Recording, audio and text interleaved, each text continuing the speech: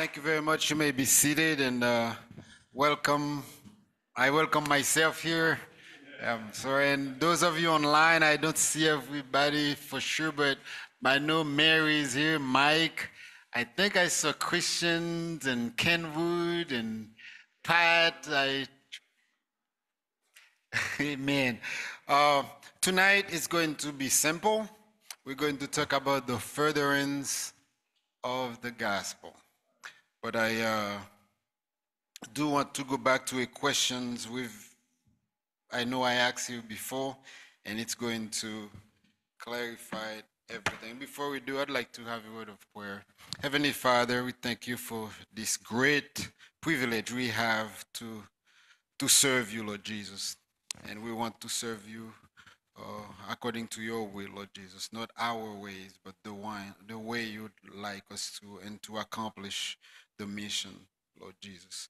Uh, bless this night for us. Bless the study. Bless your servant through whom you will speak. May he speak only what you would have him to speak, and clean him. That every every uh, uh, uh may his the path that he be the this channel you're going to use, Lord Jesus, and that your words may go through, and that uh, it will uh, not come back to you void. We ask you this in Jesus' name.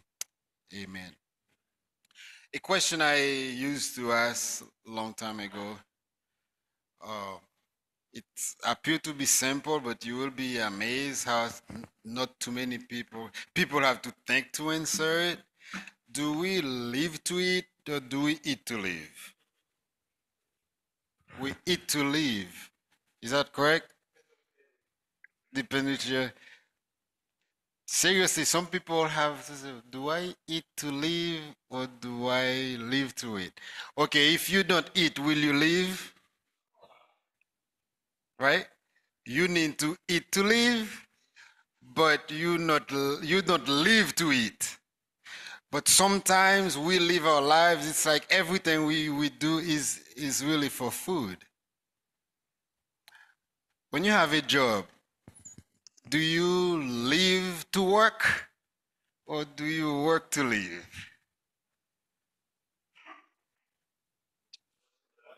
Huh?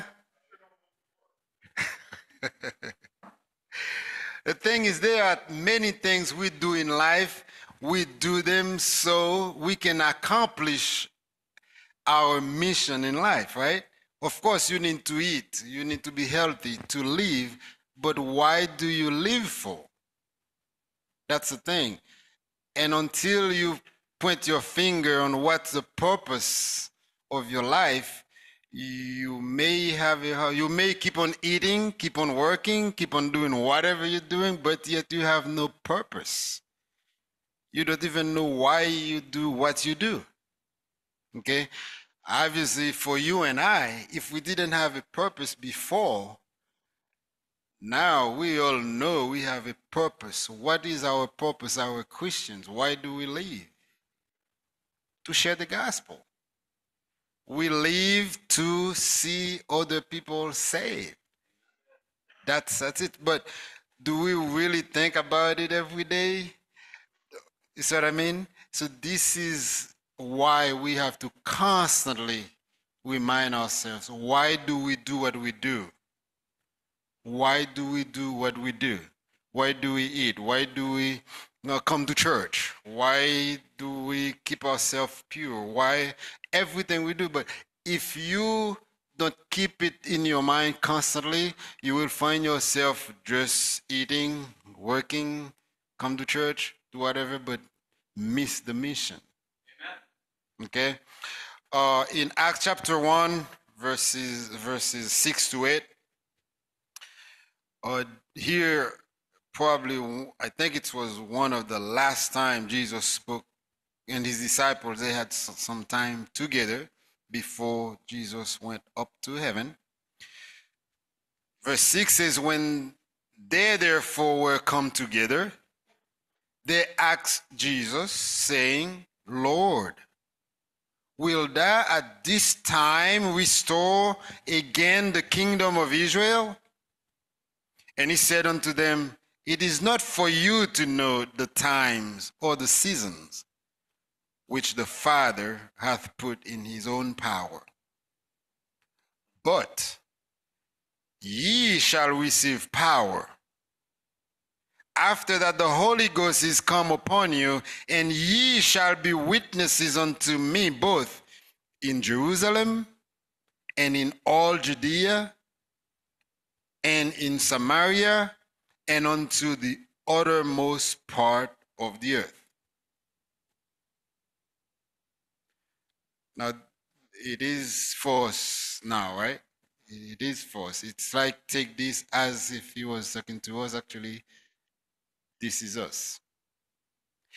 Ye shall receive power. After that, the Holy Ghost is come upon you and you will be witnesses unto me. Jerusalem today for you and I is wherever we are. They were in Jerusalem then. Then wherever you find yourself, you're going to be witness, start from there. But it says, and in all Judea. So it depends if you are whichever city or state you're closer by. Samaria, obviously, you know, you get a little deeper into uh, what they would call those the gen, Gentiles, but they were Jewish, but with mixed blood. Then he said to oh, oh, to the uttermost part of the earth, no limit. You and I have a place where we start, but we don't have a limit. We don't have a place, okay, it's finished there.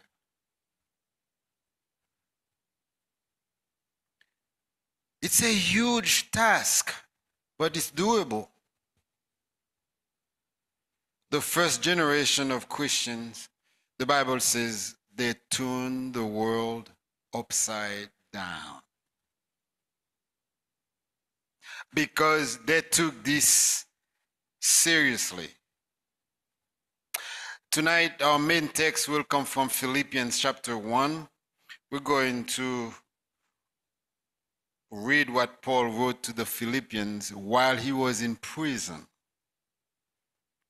And this is where we get our title for the study, uh, the uh, furtherance of the gospel. So Paul spoke, he says in verse 1 Paul and Timotheus, the servants of Jesus Christ, to all the saints in Christ Jesus, which are at Philippi, with the bishops and deacons. Grace be unto you and peace from our from God our Father and from the Lord Jesus Christ. I thank my God upon every remembrance of you, always in every prayer of mine for you, for you all, making request with joy for your fellowship in the gospel from the first day until now. Being confident of this very thing, that he which hath begun this uh, a good work in you will perform it until the day of Jesus Christ. Even as it is meet for me to think this of you all, because I have you in my heart, inasmuch as both in my bond and in the defense of and confirmation of the gospel, ye all are partakers of my grace. For God is my record, how greatly I long after you, all in the bowels of Jesus Christ. And this I pray, that your love may abound yet more and more in knowledge and all judgment, that ye may approve things that are excellent, that ye may be sincere and without offense till the day of Christ, being filled with the fruit of righteousness, which are by Jesus Christ unto the glory and praise of God. Just a reminder, he is in prison.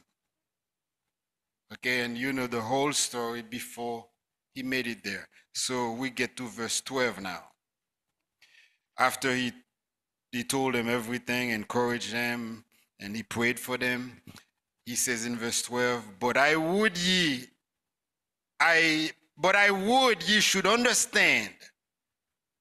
I want you to understand this, brethren, that the things which happen unto me have fallen out whether unto the furtherance of the gospel. I want you to understand this. I do know I am in prison and I don't know what's going to happen to me, but I do want you to understand everything that happened to me. If you go to the book of Acts and uh, see everything that happened to him until he's in, in prison, he says that all those things happened unto him have fallen out rather unto the furtherance of the gospel. So that my bonds in Christ are manifest in all the palace and in all other places. And many of the brethren in the Lord waxing confident by my bonds are much more bold to speak the word without fear. If we stop here for a moment, let me say that uh, if someone is not a believer, someone is not a Christian, or most likely this person is a self centered person they're pretty much living for themselves. Of course, living for themselves means they're living for great cause. They're living for their family, they're living for their country, they're living for everything else, which which is great. Okay? But it's all centered about them, about what's good for them. But when and so that's when they fashion themselves into an idol a God unto themselves. Because really, everything evolves around them. Okay? To serve themselves and their family and whatever is good for them. And that's fine, no problem with that. But do you know, as Christians, it cannot be like this. We're supposed to be God centered people it's of course it's okay to remember you need to eat to live, right? Of course you need money, you need work, you need good food, but really it's not for you. It's because you have a mission to accomplish. So it's not the same. Somebody is gathering stuff for themselves, but we gathering so we can do perform our mission. Okay? Because in Galatians chapter 2, 20, it is Paul said he he is crucified with Christ. He is crucified with Christ. Nevertheless, he lives, yet not he, but Christ liveth in him. And it's the same thing for you and I, and we can put the I in front of it. Say, I am crucified with Christ. Nevertheless, I live, yet not I. But when we say it, we have to remember we were bought with a price. We have to remember, we truly remember the day where we gave our lives to Christ. We realized we were a sinner, that we realized we were bound to hell, and then we receive God's grace, I think it's best to, for those, for example, let's just imagine you were in death row, in, in, in jail, and then you get pardoned. It's hard to imagine it, but it, it was just like that. And you would appreciate it more if you were real, but sometimes even there we forget if you don't just keep on reminding yourself. This is why it's always important to remember where you're from spiritually. The first, when we first got saved, so you can renew the joy of your salvation. Because sometimes we leave, we forget, and you have to go back. When you go back, you remember the day where when you were seeking, God found you. Then you will mean this to say, Yet not I, but Christ liveth in me. And the life which I live now in the flesh, I live by the faith of the Son of God who loved me and gave himself for me. This way, you will be able to truly give yourself and whatever you do, whether in words or deed, you will do all for God's glory. And you are not limited as far as what you can do and anybody else is doing except you have different goals, different purpose, different reason. Okay? So as Christians, though we struggle with sins, but we desire ultimately to see God glorified. Okay? More than personal comfort, we seek to glorify God. Amen. That's so this is our life. So what whatever you are at work, you're trying to glorify God. Or you you are at school, whatever you do, your, your neighborhood, you try to live for Christ because you don't live for you anymore. Okay? More than personal ambition, it's the glory of God. And also one of the things that goes together with that God-centered uh, perspective is a concern for other people. You always thinking about other people. Because remember, we, you will serve at, as witness. You are living so people can come to Christ through you. So this is why you you speak purposely with love. You act purposely. Everything you do, you do it because somebody is watching and somebody needs to see. And this is why Peter talk about how a wife can gain their husband without words. And that's the same way as Christians, we can win people without words by our conversation, our behavior. Okay?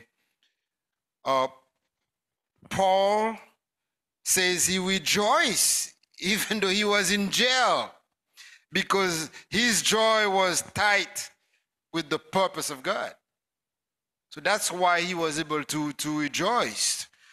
Uh, he wasn't rejoicing because he, he, found a good deal. Maybe they treated him well and he had favor. Uh, no. He says he rejoiced because while he's in prison, it, it seems like being in prison works great for the gospel. And he was happy. And further on, we're going to see, it says, whether by his life or by his death, it doesn't matter. So, verse 12, we spend, we're going to spend some time here where we see it says uh, in verse 12, really, uh, the gospel is progressing in the midst of opposition. In verse 12, God designed the most unlikely circumstances in order to bring the most effective end.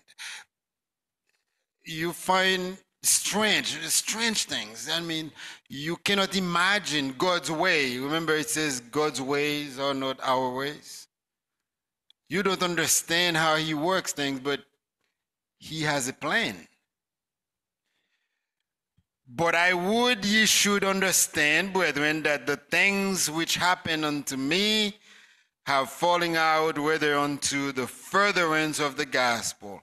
So pretty much he says, when you add all that happened to me, the result is the progress of the gospel, and I'm just happy. Just understand that. And I'm not asking you to have fundraising and to do whatever it takes to get me out of here. I don't really want to get out of here.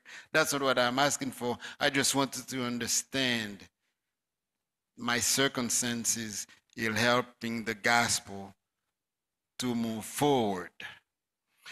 One of the strange things you and I we know is Joseph, how the circumstances he was in, God used that to save the people.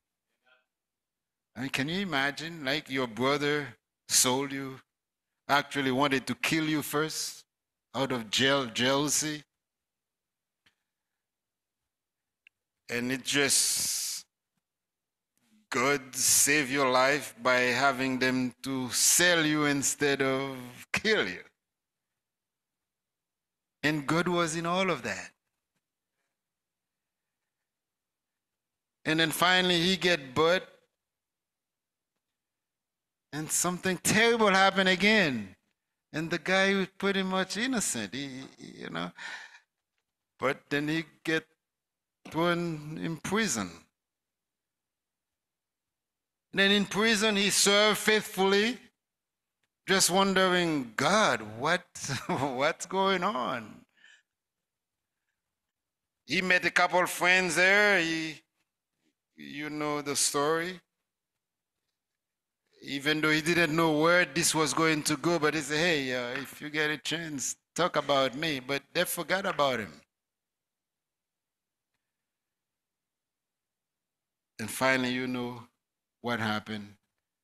It was God at work. And through jo- jo- Joseph, God saved the whole family and the people. He had a plan. Christ's story is a good story too. Jesus came and died. That's strange. From birth, the way he was born and, and all the whole thing. Now let me ask you this. Don't you, can you check into your own, own life some strange things that happened to you uh, maybe you try to go different route and you try to do different things and just when you live your life constantly watch what's going on to you. Maybe something you think is strange maybe god is working something out. Because remember you're not yours your life is not your life anymore. You're living for Him. So He can use you to send you to the cross. He can use you to send you to Potiphar's house. He can use you to be sold, do whatever. You are really His property. Yeah. So if you don't understand that, and to say, like Paul, hey, I want you to understand Tell everybody, your family, your brethren, don't be sad for me because God is working something out. Not everything, some things they are just natural. Things happen in life. But there are things that may be happening in, in your life. It may be something to further the gospel. Maybe God wants you to use your present situation for the furtherance of the gospel. But in order to see that, to live that, you have to understand what your mission is, what even your life is all about. If you don't understand it this way, you're going to fight every single thing that happened to you and you're just hindering the gospel. As a matter of fact, God can use anything that happened to you, anything in life, whatever position you are in life, God can use it and He is using it anyway. So, whatever happened to you, wherever you are, you have to say, Hey, Lord, I don't understand it. but may it be used for the furtherance of the gospel. Verse 13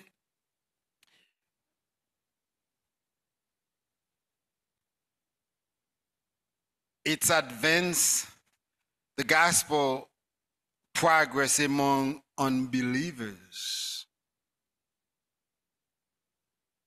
Verse 13 says, Paul says, so that my bonds in Christ are manifest in all the palace and in all other places.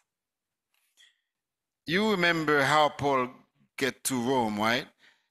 Actually, he didn't have to go to Rome, but when he appealed to Caesar, uh, I said, well, if he didn't appeal, we could. He said, no, I want to go.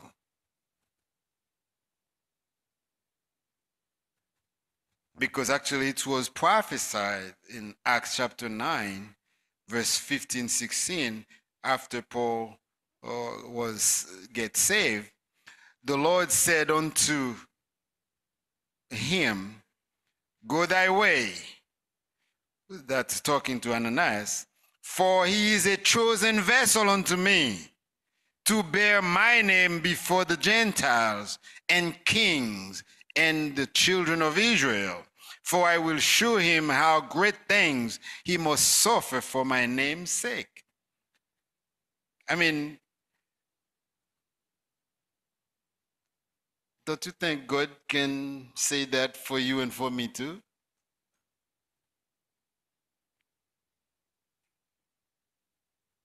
So the progress was happening inside and out and can happen inside and out the church.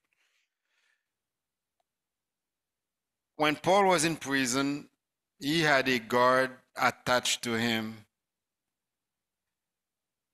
That's the way they did it to make sure the prisoner is safe and he's not going anywhere. So if you are, you are handcuffed with the guard, Wherever you go, the guard goes, right?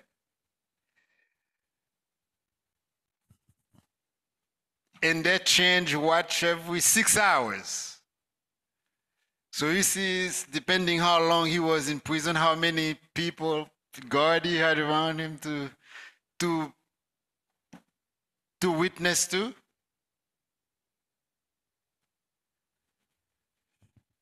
if you if we don't understand it was a good thing eh, paul would receive the brethren he would write the letters he would dictate the, the, the letter the god had no choice but to listen to hear and then he, he would you can talk to them they have nowhere to go because paul wasn't uh, they were paul was a captive but they were also captive a captive audience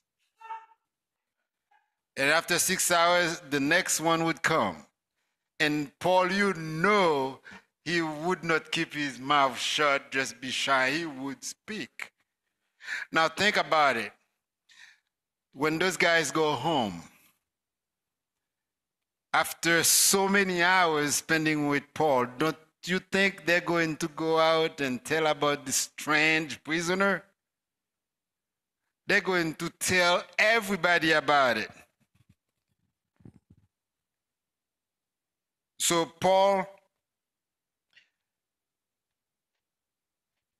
the believers in Rome also, he said, while he was in prison, no, that was 13. So, so they would go ahead and share about this unique prisoner. They had to listen to, they had to pray with him. They had to listen to his te- teaching, his sharing, and so forth. I mean, they had to.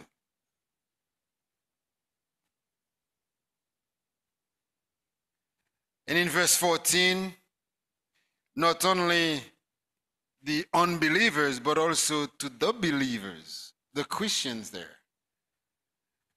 Because verse 14 says, And many of the brethren in the Lord, because of Paul's bond, they wax confident, as much more bold to speak the word without fear they get strengthened. Maybe they they were not as strong as Paul, but when they saw how Paul stood fast, they get strengthened.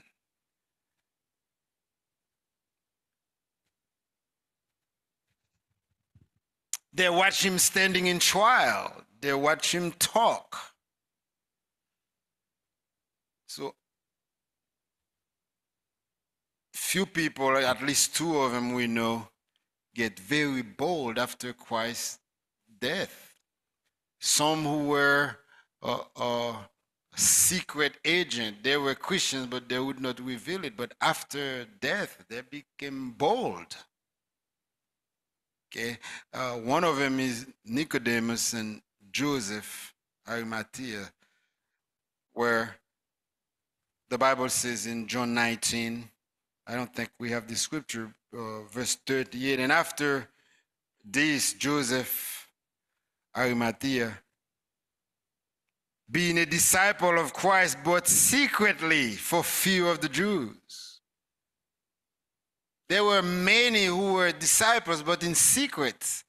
But after his death, they became bold. That's what happened to those Christians in Rome. They were all in fear, because of Paul, they became bold. And it's all for the furtherance of the gospel. He besought Pilate that he might take away the body of Jesus and Pilate gave him leave.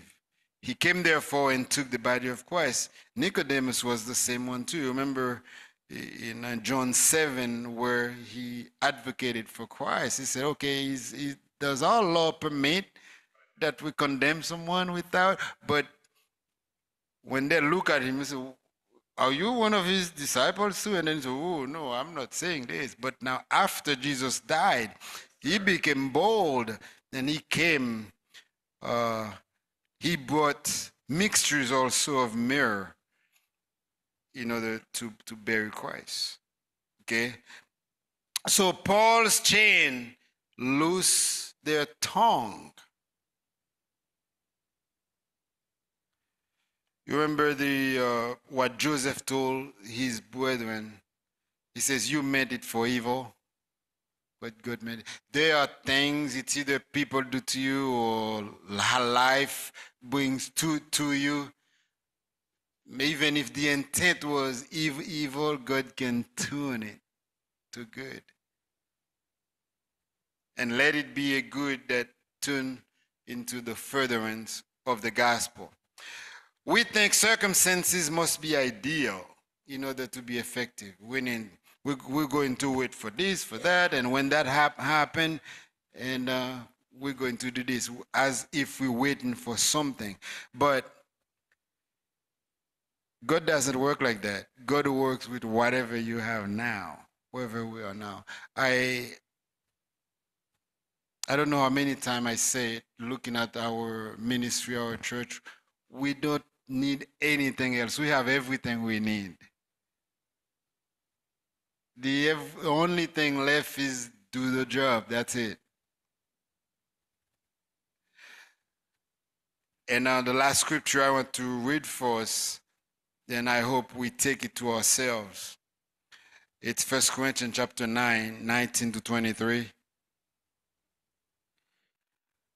For though I be free from all men, Paul says, yet have I made myself servant unto all and the reason I do that, that I might gain the more.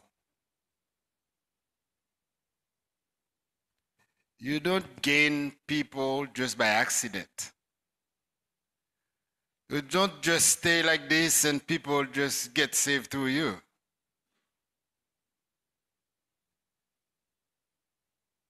If you see we have new people in church and people getting baptized, somebody did something.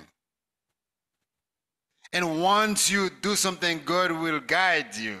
God will be the one to really remember some plant, some water, God makes the increase. Somebody plant, somebody water. So if we don't have the mindset to be that light, to be the testimony.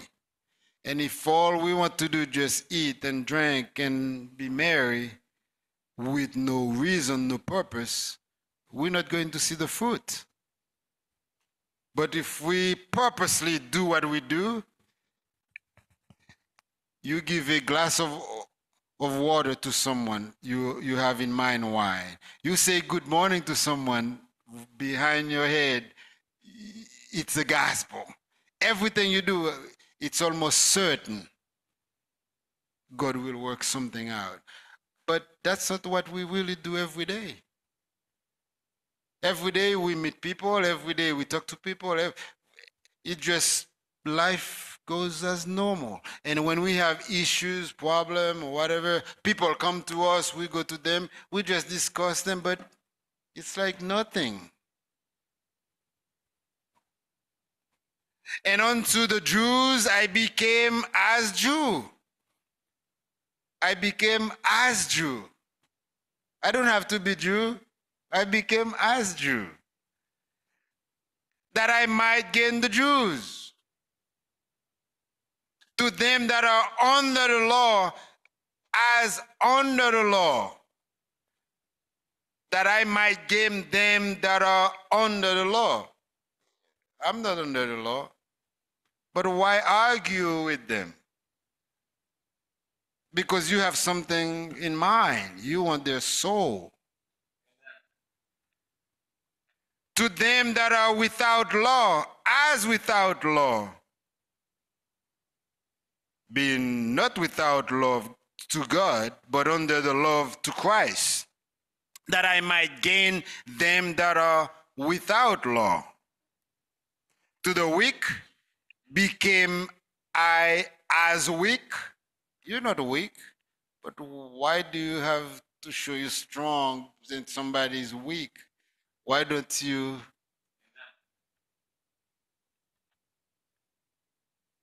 That I might gain the weak, I am made all things to all men. This is a fisher of men right here. It's somebody who really seeking to see people saved.